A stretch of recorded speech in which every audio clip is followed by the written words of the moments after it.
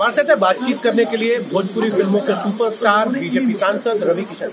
रवि जी आज एमसीडी चुनाव के नतीजे आ रहे हैं। लगभग लगभग अब ये तय हो गया है कि आम आदमी पार्टी जो है एमसीडी पे कब्जा करने जा रही है। नहीं भारतीय जनता पार्टी को जितनी सीटें 2017 में मिला उससे बहुत कम नहीं नहीं नहीं आप थोड़ी देर का इंतज़ार करिए। अभी काउंटिंग चल रही है। हम लोग कमल खिलेगा।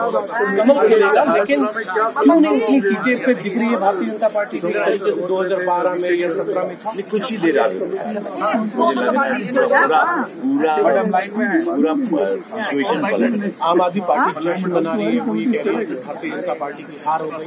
नहीं नहीं बैठ के पकौड़ी बना उसका कोई मतलब नहीं बात है कि सत्य की झूठ की हार है। सत्य जीतता है गरीबों की पार्टी भारतीय जनता पार्टी पर जो विश्वास है वो निरंतर बना लेकिन आपको लगता है कि कहीं ना कहीं कुछ कमियाँ रह गई हैं जिस तरीके से शुरुआत से बीजेपी जो है थोड़ी सी कमज़ोर नज़र आ रही है सब्सिडी की। नहीं नहीं नहीं कोई नहीं कुछ नहीं। काउंटिंग थोड़ा देर इंतज़ार करिए। पार्लियामेंट शुरू हो रहा है और फिर हम लोग फिर दोबारा आपका आपको लगता है कि सर भारतीय जनता पार्टी एक बार फिर से चौथी बार एमसीडी पे कब्जा करेगी? हार